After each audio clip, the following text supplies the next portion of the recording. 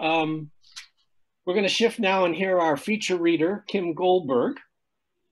Uh, she's the author of eight books of poetry uh, and nonfiction. Her surreal and absurdist poems and fables have appeared in magazines and anthologies in North America and abroad. Her first poetry collection, Ride Backwards on Dragon, was shortlisted for the Gerald Lampert Memorial Award. And Red Zone, a collection of poems on urban homelessness, has been taught in university literature courses. Um, in 2016, she released Undetectable, her Haibun journey through a lifetime of hepatitis C. So lots of interesting stuff she's written. Her earlier nonfiction books were published by New Star Books and Harbour Publishing. She holds a degree in biology from the University of Oregon, Oregon, not Origin, that'd be interesting, eh? The University of Origin, the University of Oregon, and is an avid bird watcher and field naturalist. Before turning to poetry, she was a freelance journalist covering environmental issues in all kinds of publications from Canadian Geographic to this magazine to Georgia Straight to Columbia Journalism Review to BBC Wildlife uh, Magazine and others. Uh, she came to Canada in 1970, I'm assuming as a fairly young person, as part of the Vietnam War resistors heading north. She lives on unceded Sioux, now uh, Snuneymuxw. Did I get that right? I hope so. Snuneymuxw. I was Michelle helped me out with that one. Uh, where she is known for creating poem galleries in vacant storefronts and staging guerrilla happenings in weedy waysides. So let's welcome Kim Goldberg. I will mute everyone because I don't have to switch back and forth constantly. So okay. And then I'm going to unmute Kim. There we go. Kim, you'll have to unmute yourself. Apparently, you. There we go. Okay, so we're good to go, are we? Excellent. Uh, all righty. Well, thank you very much, Daniel and Zoe and all of Planet Earth Poetry for having me here tonight. This actually turns out to be the launch of my book, Devolution, new book. That, yes, yay, because it came out in March, uh, really right before lockdown began. So, of course, I had many launches planned and lined up up and down the island and over on the mainland, but that all fell apart. And so this this is my first public presentation of this book. So thank you very much for that. How how is my audio level? Everybody good on the audio? Okay, because this will probably be my reading voice, my reading volume. Uh, so devolution, I call it uh, poems and fables, satiric poems and fables about ecopocalypse or ecotastrophe, or sometimes I just say the end of the world. Now I realize that sounds a little gloomy, but for whatever reason, in fact, it sounds very gloomy, but for whatever reason, the more dilapidated the whole condition of the planet has been getting, both ecologically and in terms of political breakdown and societal breakdown. And this has been in recent years, unfortunately, sort of mapped against a breakdown in my own body, a rather severe health collapse. All of this this tragedy and trauma getting filtered through my brain and coming out as absurdism. So the worse the situation in the outer world and within my own body got, the more ridiculous all of my stories and poems became. And somehow that knit together and formed devolution. So I'm going to probably say more about that as we go on, but I'm going to start with Atlantis, which is actually the first poem in the book. Atlantis. In the lost city of Atlantis, we drift from God to God. The animals on display have slipped their feathered cages and gilt chains. The big top sits empty, not even a flea in the matchbox seats. It was tricky at first, a skid through marbles on the curve. The swifts departed in ash plumes, rising from the lacerated rim of our existence. They took the night with them. We now know through inductive reasoning and computer simulations that the swifts were the night, and with night comes sleep, and with sleep, dreams. You see where this narrative of privation is leading. Wait, there, behind the goat shaped cloud, I think I see another God. So that's Atlantis. Uh, the next one I'm going to share, I'm wondering why I can't get my face to be the one I'm looking at on my screen. Oh, well, we'll just, we won't worry about the mechanics of this. We're just going to keep going. the next one I want to share is called Spawn. Now, people probably remember, I wrote this in 2011. I've been working on the poems in devolution for about 10 years. And in the last four of those years is when my own health it just sort of like fell off a cliff and just kept falling further and further. But happy to say that I'm currently in remission on all fronts. So yay, that's as good as you can get. But things got pretty wild and wacky as the uh, the poetry just filtered out and helped me process through ridiculousness uh, what was the enormity of what was going on. So in 2011, people probably remember it was the year of the Fukushima uh, meltdown, nuclear disaster in Japan, both a meltdown and an explosion, releasing quite a bit of radioactive material both into the ocean and into the atmosphere. All of this material was scheduled on a precise date to reach the west coast of North America, including our shores. And at it, that date also coincided with a phenomenal natural phenomenon, the peak of the herring spawn. So the confluence of these two things, this radioactive cloud and the peak of the herring spawn, um, formed itself into this poem, Spawn, which is written as um, a loose palindrome when I wrote it up on a beach in Parksville watching the, the herring spawn.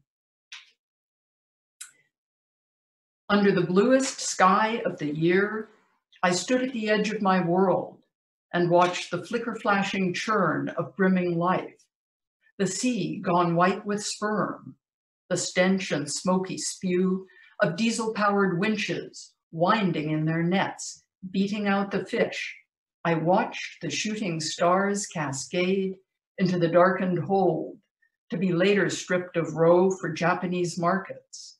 The yawning emptiness between electrons in the salty air, packed tight today with sirens wail and swaggling song from 4,000 gulls and brant, aloft beyond the endless snowy drift of milk, whipped thick and scattered into bands of froth along a tide line with no vanishing point at all.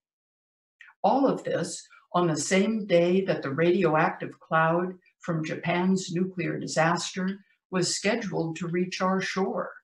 All of us together in this self-made retroactive cloud with no vanishing point at all. We tipped and scattered clamshells in the froth, our lifeline lost beyond the endless rift cleaving molten rock and magma from 4,000 songs and plants. The salty air packed tight today with sirens wail in Japanese markets, while the yawning emptiness of our elections echoes in a darkened hold to be later stripped and sold as fish bait. We watched the shooting stars cascade into a diesel flowered meadow, binding all our heads, beating while it burned until the stench and smoky spew was traded for the flicker flash of atomic churn, and the sea was gone under the bluest sky of the year as we stood at the edge of our world. So that's, thank you, that's uh, Spawn. This one, um, I guess we're going to go on a little bit different direction. This one is staging. Now, staging can mean multiple things. Uh, staging, of course, can refer to uh, a theatrical, staging a theatrical or dramatic performance of some sort, or I suppose it could even, in modern parlance, refer to staging a home for real estate showing and sale. It can also, however, have a, a meaning in cancer and a cancer diagnosis. So um, what we have going on here is basically my Ativan fueled hallucination while in an MRI tube. And this is my documentation of it for this staging process. The opera had gone on far too long. The audience came and went as needed for sandwiches, hip replacements, jail sentences, but it was glorious. I composed it myself and was performing it with the koalas high in the eucalyptus forest. The orchestra smashed metal plates with the ferocity of dueling moon rovers. My lyrics were inscrutable without the universal translator, yet our harmonies were skeins of silver geese reaching all the way to Cassiopeia's left eye. The finale was perhaps too abrupt. All the reviewers mentioned this. When they slid me out of my oven casing on a steel rail, fully baked with golden puff pastry nicely crusted on my torso, I could still taste the sweet warmth of the koala's eucalyptus breath. And that's all a true story. Yes, that's the way it went. Uh, so this is threes and probably needs no setup. Threes. Number one, three men, three men by the corn dog cart take to the sky as crows. Their business suits and patent leather loafers become black feathers and claw feet as they loft into the blue. There are three briefcases, now dark maws stretched wide with sound and meteorology. The landlocked people feel a momentary warm breath of wing beats as they reach for the ketchup, and then nothing. Two, three men in a rowboat fight over two oars until they knock a hole in the floorboards and an octopus scuttles in. The men are out-armed, but the octopus knows the destination, so the hostile takeover is for the best. The creature rows all night with two arms, and clasps the three men in an adhesive embrace with the other six. By morning, they clear the birth canal. The exhausted octopus deposits her naked, squealing cargo on the beach. And number three, three men in a boardroom, 30 stories high, discuss double-hulled tankers while erase small islands from marine charts. In a hiccup in their hearts, leaps from three throats and bangs its head against the triple glazed window, trying to see all 30 stories at once. Um, you know, I should say most of these are either free verse poems or formed poems, but there are some prose poems and even, although I'm not reading them tonight, what would actually be uh, short stories in here as well. And so I called the collection poems and fables. And uh, many of the poems, even if they're written free verse, are fairly narrative. Um, that just seemed to be mainly what I was aiming for with this book. This is, uh, this next one is Somewhere a Creature, and it's a sonnet that I wrote about Nanaimo's tent city, which was up in 2018 for at least uh, six months there were hundreds of people were living in this tent city in Nanaimo. In fact, I think at one point Nanaimo's tent city was the biggest tent city in all of BC. Uh, there were at least 450 people there at the peak of it. So, and it was in a downtown unused industrial wasteland sort of, adjoining rail yard and across the street from a downtown Nanaimo shopping mall uh, called Dis, and the tent city, the people there called it Discontent City. And so I wrote this poem on the eve of um, a showdown the next day that was had been planned and announced by a, a right-wing um, hate group called Soldiers of Odin. They were quite prominent during Nanaimo's tent city in 2018. Upon the planet's stony hide, unloved, or sandstorms scour bones to piles of chalk. A kaleidoscopic rash of domes erupts, passing sensors swivel, rumble, gawk. Each hemisphere a mystery inside, bauble, beast, arcane chemistry. To look would alter flow of sun and tide. The world's a wobble with uncertainty. Beside one dome, a grows abundant, Beside another, knives do claim some flesh. There's talk of secret springs, an end to hunger. Somewhere a creature slips its master's leash. Once the drift toward meaning has begun, it is a thing can never be undone. Um, this next poem, you know, I wasn't even going to put that poem in somewhere a creature. I just hadn't thought of it for quite a while. And I also hadn't thought of soldiers of Odin in quite a while because while they were prominent in Nanaimo when Tent City was going on two years ago in 2018, and two of them actually ran that year for seats on Nanaimo City Council, actually not getting elected, which is just as well since they are a hate group of some notoriety internationally. Um, but then they had disappeared. Soldiers of, Dis of, of Odin had disappeared from the landscape and from most of our minds until this morning when one of them began posting on the Facebook event for the Black Lives Matter rally that was happening this afternoon in Nanaimo. So that seemed like a bad scene and it put them back in my mind and put this poem and the whole episode of Nanaimo Tent City back in my mind, which is how I came to include that poem tonight. Uh, this next poem is Cake. It's a short eight-line triolet. And I should say, since I've got a number of formed poems in here, a sonnet, a triolet, palindrome, uh, we all owe, all of us poets owe a great deal to the anthology In Fine Form, edited by Kate Braid and Sandy Shreve. I mean, I'm pretty sure most of the people here know what book I'm talking about, and I think we have a lot more formed poetry being written as a result of that book, and many people getting turned on to form, so-called formed poetry, poetry written in form, often forms that are centuries old. So, um, and so, and the book is just an excellent source of inspiration in general. You know, you can sit out in the backyard, read a few poems, and boom, before you know it, you're writing something, usually in form. So this is a triolet cake. Lost in an alley, we sought our gods, stowed our Bundt pans in gravel burrows, sweet keepsakes from an earlier epoch. Tossed in an alley, we caught our gods, shifting numbers to hide the curvature of thought. When the bubble burst, the moths turned gold, but we lost the alley, defrauded by gods, who stowed our Bundt pans in gravel burrows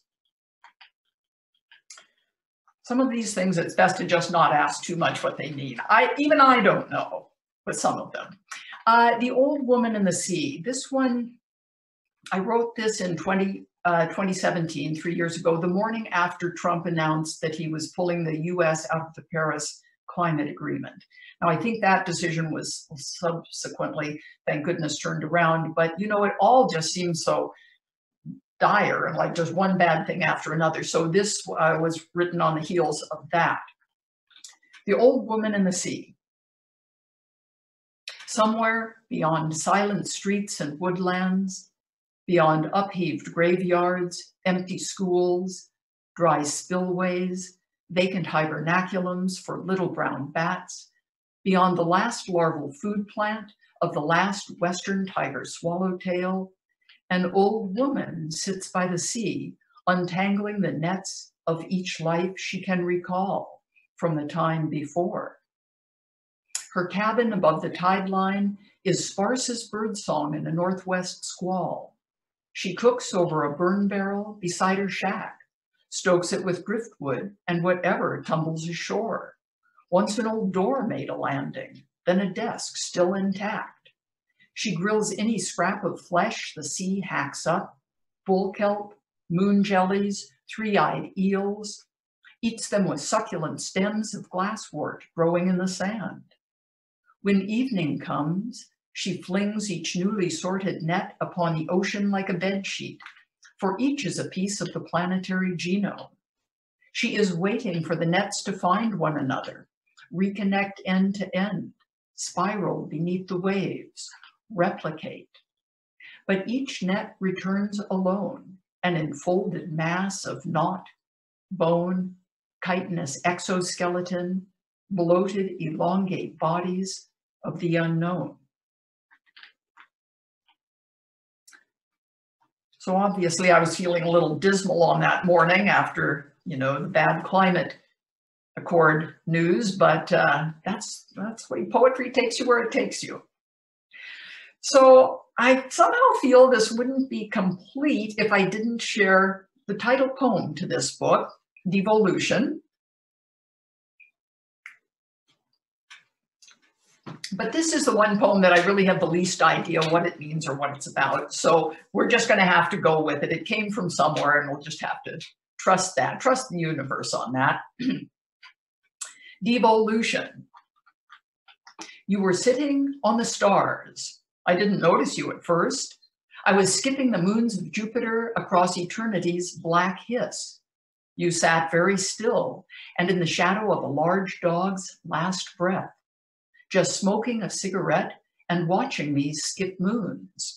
Each ripple was the raspy alarm call of a canyon wren trapped in the geologic grip of moons becoming stones, becoming sand, becoming beach glass, becoming a coral reef, becoming bleached muslin in the electrostatic waters recede, exposing single-celled life to the face of complexity.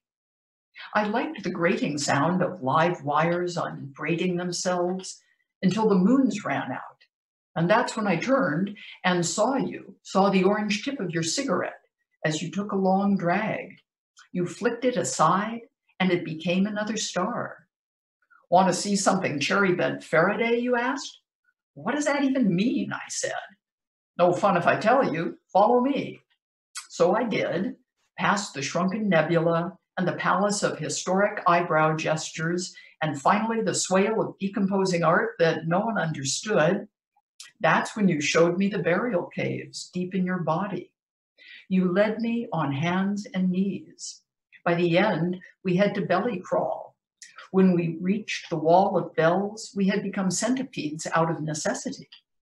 The bells were bird cages, housing creatures we couldn't see.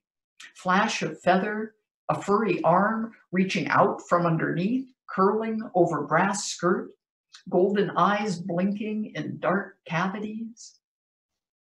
The bells spoke, trying to convince us of something. Their tone was urgent, but I could not grasp the meaning. They all yammered at once and in a dead language. Their yearning was a hot plate beneath my hundred feet. Soon I had 100 corn tortillas. I decided to open a taco truck it was an unmet niche market in the burial caves gastronomy. You were watching me again and smoking another cigarette. Um, I'm going to, that was Devolution, the title poem, so it must mean something. Um, I'm going to move off of devolution for a moment and share a pandemic poem, a more recently written poem. I'm sure pretty much all of us here who are poets have probably written at least one pandemic poem, if not a whole bunch of them, during the last three months of what's been going on. Uh, this one I wrote on March 21st, which was World Poetry Day, and I had very strategically selected that day to be the day of my book launch scheduled for Nanaimo Public Library. Yay, let's launch on World Poetry Day, great tie-in. But of course, when that day rolled around, not only was it totally inappropriate and ill-advised to hold an actual real life in the flesh public gathering, but all the libraries had closed because of that. So, so I found myself roaming the streets of South End Nanaimo, which is Nanaimo's oldest neighborhood. Many or some of the homes there are over 100 years old, dating back to the original coal mining era and period of Nanaimo. And it's usually a bustling residential neighborhood, but was completely deserted, all of the streets. I didn't see another human being. And so I came to write this poem, Dead Town, a pantoum written as a pantoum. I was writing the poem as I was supposed to be launching Evolution. As I walked through Dead Town this morning, I saw an archangel drop from a guy wire, securing the universe against untimely collapse. This morning I saw an archangel on the train tracks where wheels no longer grind the universe into untimely collapse. Why are feathers white on the underside? On the train tracks where wheels no longer grind, two homeless men have set up camp. Why are feathers white on the underside, they ask, as they roast the electrocuted pigeon. Two homeless men have set up camp and must live the metaphor of self-isolation. They ask the electrocuted pigeon they are roasting for its consent. It agrees to being sacrificed. we must live the metaphor of self-isolation. There are only 14 nosegays in Dead Town. Who among us will consent to being sacrificed when 900 nosegays are needed for the parade? There are only 14 nosegays in Dead Town. Where is the Savior who can pass her palm o'er the land and conjure the 900 nosegays needed for the parade? Where is the florist who will die trying? Where is the Savior who can pass her hand o'er the land? Did she drop from a guy wire, securing the florist who will die trying? Dare I walk through Dead Town? Uh, I just got a couple more that I was going to share here. This is a short one and also another triolet, another eight-line triolet. Uh, this one is called Arrival, and I wrote it two years ago for Literary Review of Canada for their January 2018 issue, which was focusing on Canada's 150th anniversary of Confederation. However, poets wanted to interpret that either as a celebration or a condemnation or anything in between. So this is Arrival. A land where wolves did howl till dawn, where muskrats wove each home from reeds. I don't know why the bees have gone, have never heard a wolf at dawn. The beaver's tail does sound alarm.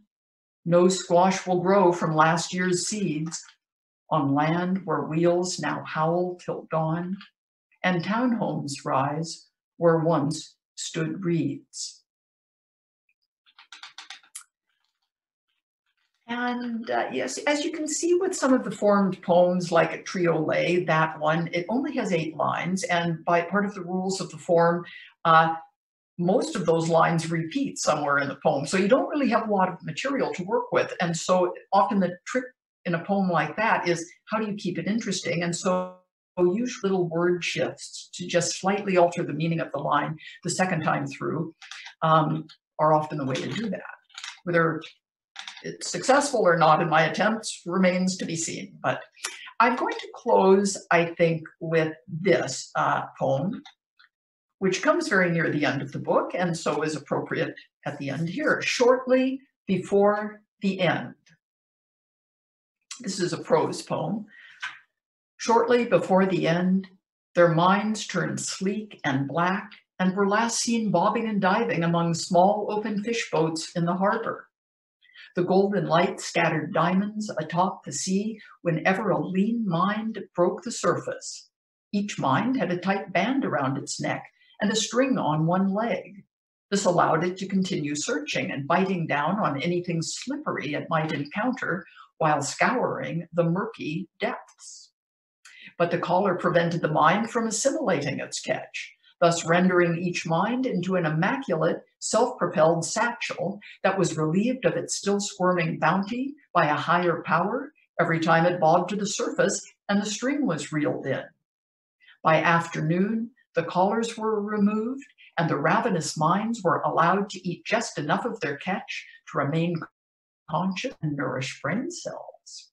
Then they were shut away in wicker crates until the following day. Thank you very much. I'm going to leave it there. Hey, let's hear it first. Thank you very much. I Thank sort of